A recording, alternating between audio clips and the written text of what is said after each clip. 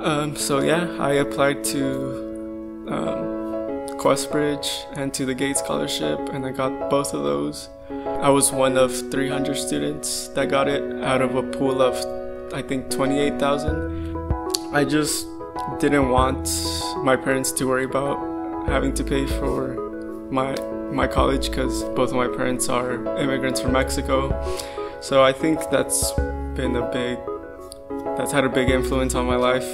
My parents like reminding me like oh school school school school like if you want to be someone in this country um, the like the most practical and like easiest way is to go to school so you know that was always like in the back of my mind as a little kid we went to garfield middle school down the street and we started a robotics team there with the little kids it was so meaningful to me because most of the kids we were working with were hispanic like me um, underprivileged coming from low income families. So just being able to give back to my community. Um, the summer between junior year and senior year, I went on the Alaska expedition. So that was a three week wilderness expedition in Prince William Sound. So that was, we were, you know, disconnected from the world without our phones, on kayaks, going from shore to shore, camping.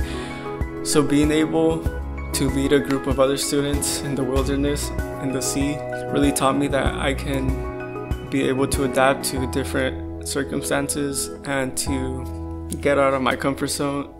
So it was just a, a great experience for me to grow as a person, uh, show myself that I can be independent when I go off to college.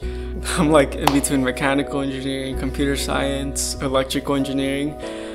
I've always had a thing for like the I guess the environment. So I've really been interested in like renewable energies.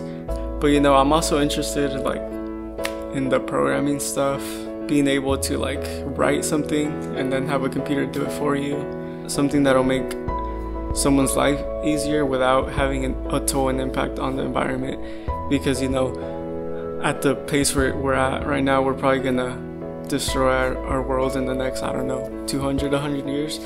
So if i have the ability to maybe postpone that or you know just get rid of that threat um, so that we don't hurt the ecosystems environment and so that we can thrive for the following i don't know a thousand years